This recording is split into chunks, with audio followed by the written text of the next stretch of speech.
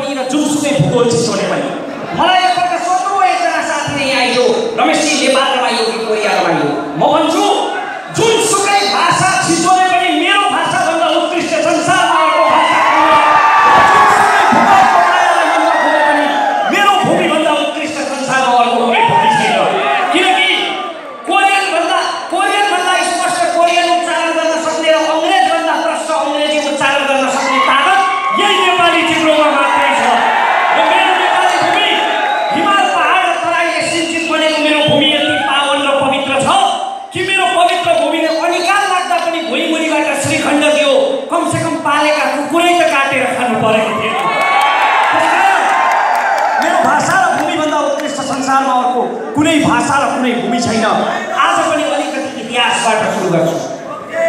मलाई कहिलेकाहीँ इतिहास सुनाउँदा मुर्दाका कथा सुनाएको बात लाग्छ।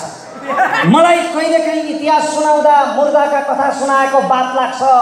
मेरा साथीहरू भन्छन् ए तेरा मरेका दिनको कथाले भरे बेलुका घरमा भात पाक्छ। म भन्छु म इतिहास सम्झिरहन्छु। वर्तमानमा सम्झिन के छ र?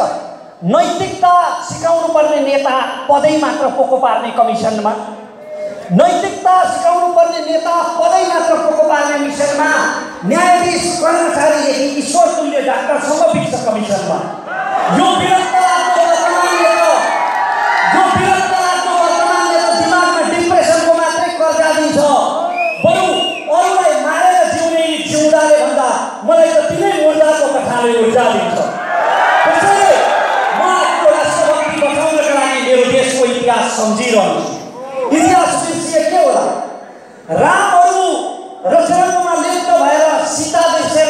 उनको सेक्सी पोज में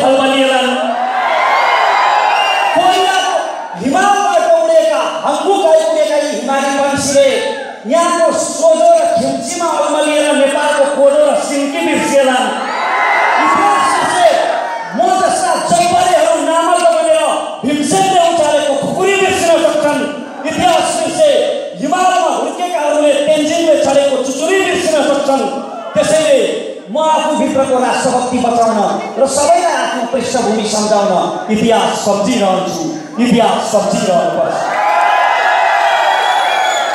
इतिहास हो कि हामीले चालिस मुरी धान कुनै बेला साठीको दशकमा युद्धले भित्रिएको कोरियालाई पठायौँ त्यही चालिस मुरी धान पठाएको देशमा आज हामी कामदार पठाइरहेका छौँ वर्तमान यति विरक्त छ विश्वभरिका मुलुकहरूले आफ्ना उत्पादनहरू बेच्छन् यही कोरियाका पनि सेमसुन एलजी जस्ता कम्पनीहरूले संसार टिकेका छन् विश्वका उत्पादन बेचिरहँदा हामी धमाधम उत्पादक नै निर्यात गर्दैछौँ।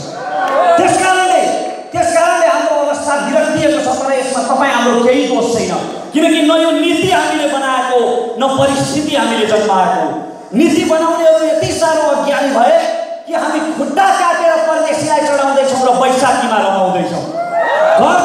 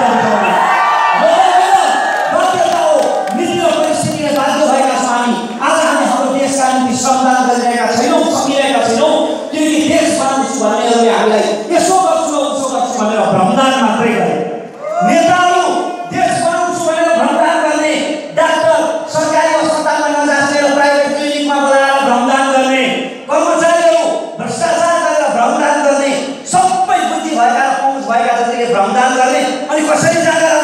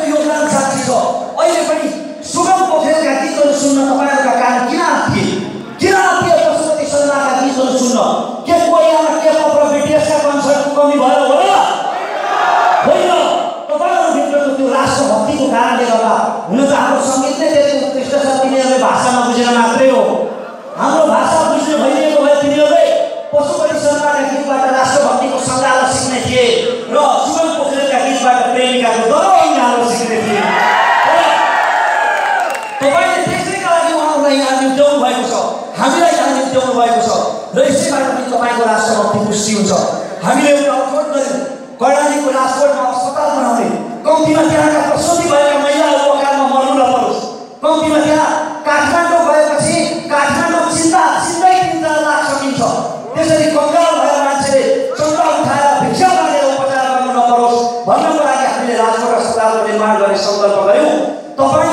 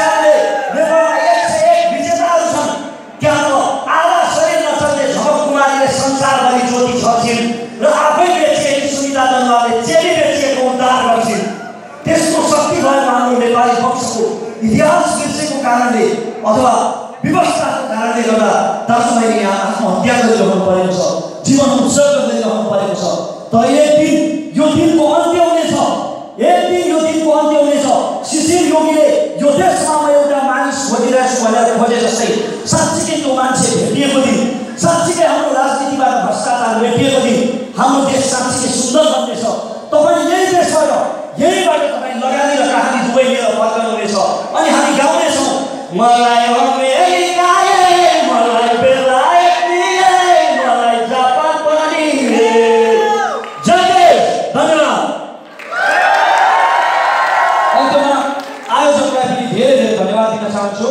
गान्धी दाई गुरुदत्त दाई विजय लगायत उहाँहरूको सबैको टिमलाई उहाँहरूले असाध्यै धेरै दुःख गरेर मलाई यहाँ निम्त्याउनु भएको छ।